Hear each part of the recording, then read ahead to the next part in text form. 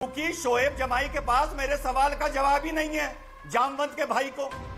बातें मत अरे बताता हूँ ना मुँह में है क्या? बता दस डंडे मार के इसका पिछवाड़ा लाल कर देता। जी।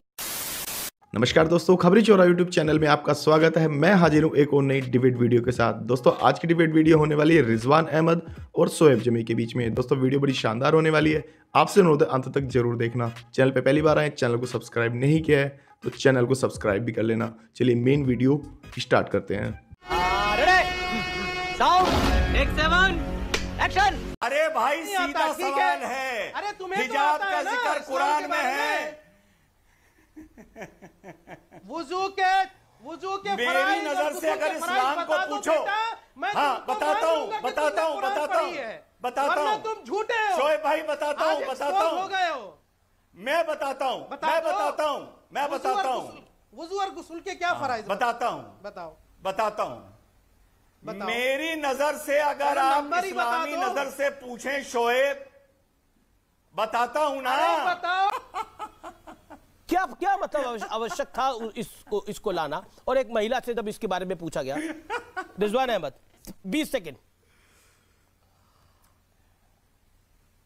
शोएब जमाई हिजाब या तो वज़ू को लाएगा या भाजपा को लाएगा या मुनाफिक को लाएगा क्योंकि शोएब जमाई के पास मेरे सवाल का जवाब ही नहीं है जामवंत के भाई को।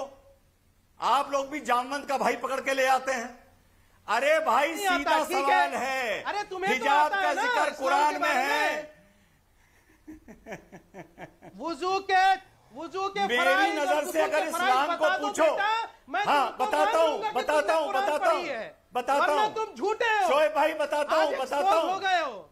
मैं बताता हूँ मैं बताता हूँ। मैं बताता हूँ। वुजू और गुस्ल के क्या फराइज बताता हूँ। बताओ। बताता हूँ।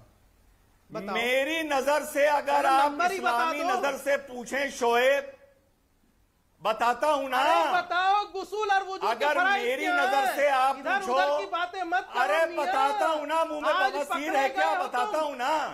देश को पता चलना चाहिए कि अरे कितने बड़े बताता हूँ झूठे ना। हो बहरूपिया हो तुम जैसे लोग। कुछ नहीं पता अरे इस्लाम के बारे में। और आ जाते हो यहाँ इस्लाम बताता का हूँ। एक। सेकंड शोएब हूँ ना। शोएब जमाई किसी को अपने अपने वक्त पर बात रखी जाए ना। ओके कुरान को समझ चुके हैं। हम कुरान पर अमल करते हैं। एक सेकंड एक सेकंड एक सेकंड। देखिए अमीना अमीना औरतों ये विषय है विषय है। जो जजिस को धमकी दी गई। मैं दोबारा बार बार कह रहा हूँ जो जजिस को धमकी दी गई विषय वो है। ये कुरान पर चर्चा का विषय नहीं है। इसको अलग अलग मत करिए। एक सेकेंड। और अहमद तीस सेकंड। देन गौरव भाटिया। आपने बोला बीजेपी वाले मुझे मार देंगे। रिजवान अहमद। अमीज भाई मुझे दस लोग धमकी देते हैं। मैंने तो होम मिनिस्टर को चिट्ठी नहीं लिखी क्योंकि इस मारे नहीं लिखी क्योंकि मुझे अल्लाह पर यकीन है। उस मुनाफिक ने और उस कायर ने होम मिनिस्टर से मदद मांगी होगी। जिसको अल्लाह पर यकीन ही नहीं है पहली बात। दूसरी बात मुझसे शोएब ने जवाब सवाल का जवाब मांगा था अमीश भाई। सवाल का जवाब यह है अगर डॉक्टर सैयद रिजवान अहमद देश का गृह मंत्री होता तो शाहीन बाग पर पतलून उतार कर शोएब के पिछवाड़े दस डंडे मार के इसका पिछवाड़ा लाल कर देता। सीए के टाइम पर। यह है तेरे सवाल का जवाब शोएब। यह है तेरे सवाल ये का जवाब। क्यों? अहमद ये चैनल लौट रहा है क्या? खड़ा करके तेरे पिछवाड़े ये डंडे मारे जाए। कीचड़ में लौट रहा है क्या? ये इस तरह की भाषा में लौट रहा है क्या? अरे? वुजू और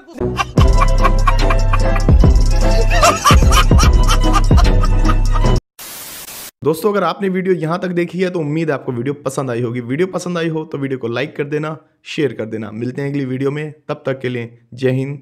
वंदे मातरम।